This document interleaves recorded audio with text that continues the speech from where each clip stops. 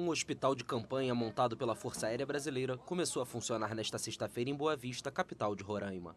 A unidade serve de apoio para o Hospital da Criança Santo Antônio e para a Casa de Saúde Indígena, que tem recebido representantes da etnia Yanomami em meio a uma emergência sanitária reconhecida pelo governo federal.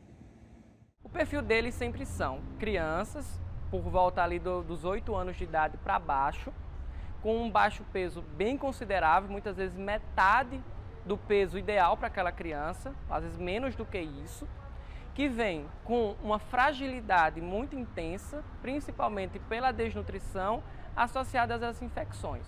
O quadro apresentado é quase sempre o mesmo. As crianças indígenas, sobretudo as Yanomamis, vêm ao nosso hospital por uma situação de desnutrição. A grande maioria com desnutrição de moderada a grave.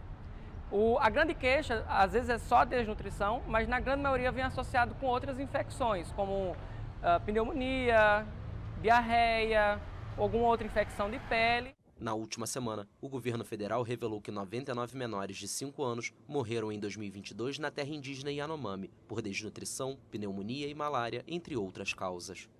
A Polícia Federal abriu uma investigação por possível genocídio contra os indígenas da etnia, apontando para ações e omissões dos funcionários públicos e ex-dirigentes de saúde durante o governo de Jair Bolsonaro. Autoridades também apuram supostos crimes ambientais e desvio de recursos públicos.